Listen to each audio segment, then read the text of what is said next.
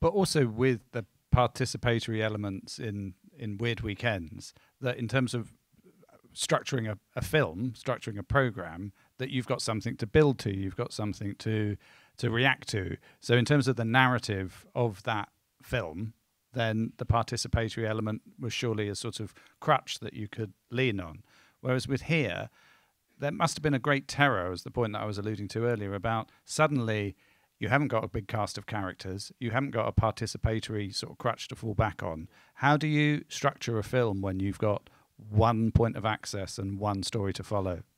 I mean, that's a great point because in the Weird Weekends days, we used to be, we used to get, before we'd shot a single frame, we would put cards on a wall and we'd even before we'd cast characters we'd have archetypes in the porn we knew we wanted a hungry young male and uh, that he would carry us to his first or a, a shoot, and that we would also have a sort of, uh, you know, that we, I had beats, what we, you know, beats on my journey, and there were beats on different characters' journey. That there was a climactic or sort of semi-climactic moment that represented the far end of my involvement, but that that would then trigger a conversation in which I confronted and challenged um, the person who was in that world for real, right? Which was a sort of second climax in which I so so they were all it was all sort of plotted out and it would usually go more or less you know to plan with um when we did when Louis met as you rightly say it was a much more free form um kind of thing and it became a uh, we'd have to, we couldn't really plan it as much and it in some ways it was quite liberating. It in, you know in other ways it was awful because you have to sort of tiptoe around people if you think that they are going to pull access if you ask the wrong question. And I hate tiptoeing. You know, I, I really do like to try and get my cards on the table quite early on, um, which is one of the reasons when I did uh, a, sto- a story about Anne Widdecombe on the first morning that I met her, and I got a bit of flack for this. I said something about, um, and you've said in public that you're a virgin or something, and, and, it was a question. She, I think she had said it in a previous interview, and I just thought, you know, I'm not going to build up to that question. Let's just get it out of the way. And um, there was a slightly awkward moment, but um, it, it it becomes about make, building a narrative in which there are ebbs and flows of closeness and bits of action, but you the sh- the short the bottom line is you can't really plan it in the same way.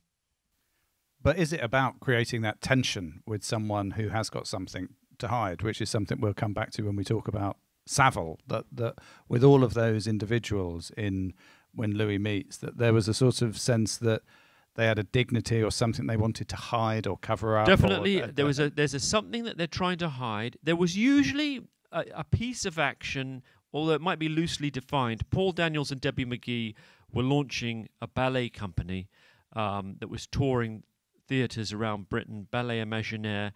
Um, and Debbie, it was Debbie's dream project. So it follows that, the launch of that, and then it kind of hit the buffers. Um, with Jimmy Savile, it's more about his endless uh, sort of self promotion, really, and his life as a series of stage managed events designed to promote and kind of um, uh, buff his image and his um, sort of yes his his popular esteem. And uh, but then in other ones, Chris Eubank, I didn't want Chris Eubank, the boxer, didn't. Re- it was just sort of his public events. And in most cases, as you say, there is a difference between the public and the private. And in terms of the perception, the audience perception of you at that time, you were getting multi-million viewers. I mean, I haven't got the mm-hmm. figures in front of me, but there was, you I know, probably tell you what they all on got. Then. Well, episode by episode. Uh, no, I think. Oh, sorry. no, you can do. Savile was four and a half million, I think. Paul and Debbie was slightly more, four point eight, I think. The Hamiltons, I think, was five and a bit. Anyway, so it's, it's huge, fascinating. No, but hugely, hugely popular series that, as I say, broke out of sort of a niche audience. And then, what in terms for for you, were you what was your self perception? Were you did you see yourself as well? These are amazing popular documentaries. Did you look at the rest of the documentary landscape and think, look, I'm getting the audiences that you're not getting, or did you see yourself as doing something? different. I wasn't really conscious of anyone else's ratings, and to be honest with you, in some ways, it was part of my least happy working experience. In in, in the sense that having, I, I just sort of couldn't see.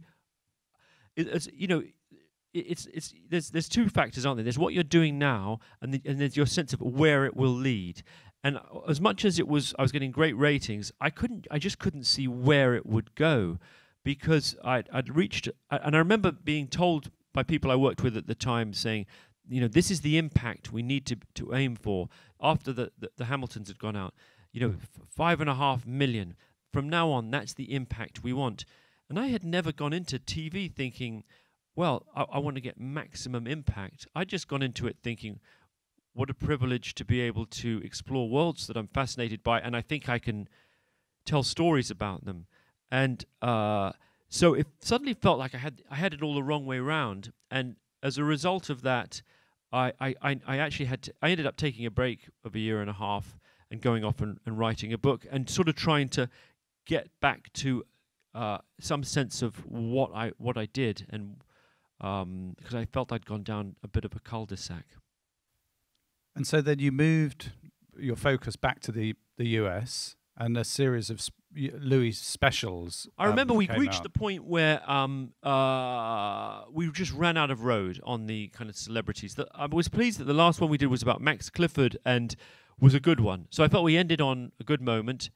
Uh, and and then we had two more, uh, three more shows to make and I was told, uh, I remember my series producer at the time said, "Well, why don't we forget about Access and you just make um, whatever show you would, would be your dream project? Just what would you what would be your ideal ideas for, for documentaries?" And I said, "Well, that's easy. Number one is Michael Jackson, and number two is Scientology." Uh, the Michael Jackson one we ended up making. It, I think it's I think it's pretty good, but it definitely is. Uh, it was difficult to make, and in some ways not totally satisfactory.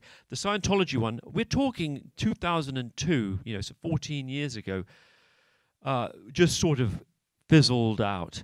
And then it was a case of, well, let, well, let's just make a program that we know we can make. And we did one about neo Nazis called Louis and the Nazis, uh, and one about a brothel called Louis and the Brothel. And then I said, okay, fine, I'm done for now, and, t- and, took, and took time off and and and when I came back, I felt that I was in a position to sort of say, okay, I'll come back, but I, I, I just want to make uh, things that I'm interested in, and um, and it was luckily uh, the brothel and the neo Nazis episodes did really well as well, and I'm still really proud of those shows, and it felt like they possibly painted a bit of pointed a bit of a way forward, and that they I think the takeaway as well from the when Louis Metz was that we don't have to plan quite so much. We can just let the it put me in situations or in worlds that are extreme and find our way through them and you also get a in some ways a richer and more mature sort of narrative